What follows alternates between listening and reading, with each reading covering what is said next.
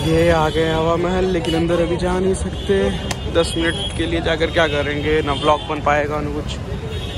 सो कल आएगा हवा महल का ब्लॉग पाँच बजे शाम तक।